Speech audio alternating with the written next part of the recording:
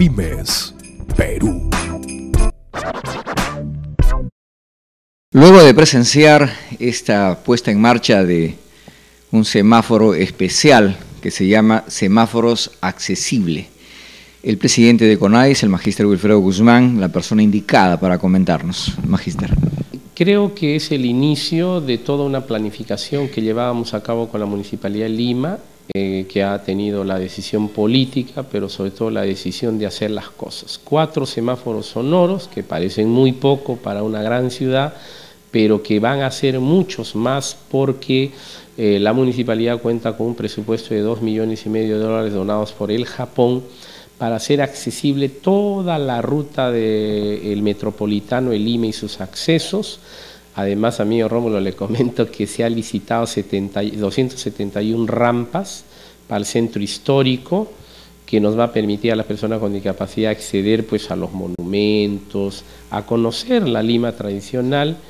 Y sobre todo si usted tiene una mirada a la avenida Arequipa, en las esquinas va a encontrar eh, lo que le llamamos especie de ladrillo en el piso que nos permite sentir a los que no vemos que hemos llegado a la esquina o cuando el paradero es en medio de la vereda, o sea, no en la esquina, también se da el mismo, esa misma cobertura áspera que nos hace decir que ahí está el paradero.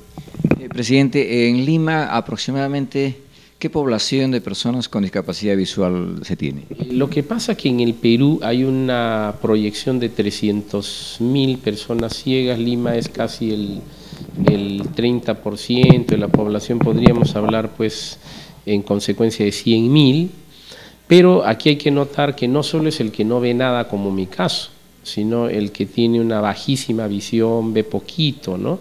Entonces hay una población importante.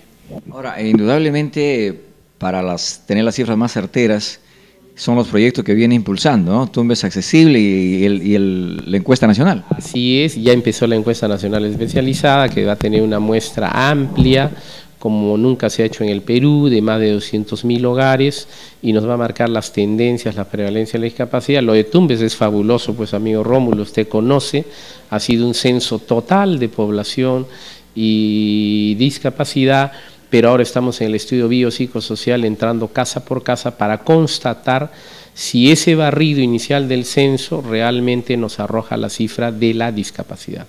Ahora, Tumba es accesible y el nuevo CONADIS ya está en los ojos del mundo. O sea, ya empiezan los comentarios a ver que se está haciendo un trabajo serio. ¿Cómo lo toma el presidente CONADIS?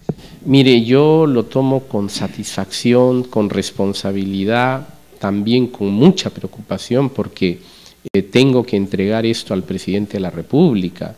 Y yo le tengo, a través, por supuesto, del Ministerio de la Mujer y Poblaciones Vulnerables, decir, señor presidente, aquí usted tiene la primera evidencia tangible, el estudio técnico de INEI, el estudio científico de CONADIS, y aquí están las personas con discapacidad, estas son sus necesidades, y ahora le toca a nuestro país la aplicación de la política pública, los programas.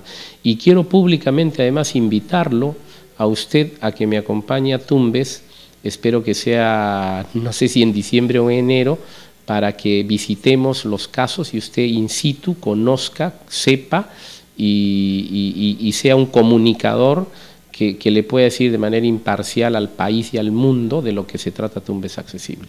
Está aceptado indudablemente la invitación, presidente. No puedo pasar por alto de reconocer el, equipo que le acompaña, la dirección Soy Capaz. Lo acompañamos a Barranca a un desayuno de trabajo con empresarios y la verdad que creo que cada vez se da más inclusión en el lado del sector privado. Eh, yo soy un hombre de data, usted sabe, me gusta mucho las cifras, la estadística. En el año 2005, el Ministerio de Trabajo colocó 195 personas a trabajar con discapacidad. En el 2006, no me refiero en el ministerio, sino en el espectro general. En el 2006 colocó 43 personas, en el 2007 4, en el 2008 63, en el 2006 46, en el 2010 no recuerdo la cifra, en el 2011 84 y CONADIS, con su programa Soy Capaz que dirige la ingeniera Mónica Honores, ha logrado del 18 de julio que se inauguró a la fecha 572 personas colocarlas en el ámbito privado y público. Y yo agradezco su programa que se dedica justamente al emprendimiento, a la empresa, porque ustedes tienen programas de radio y televisión que nos apoyan y creo que este es el camino de lograr la inserción laboral de las personas con discapacidad y, que a las personas con discapacidad tengan fe, esperanza.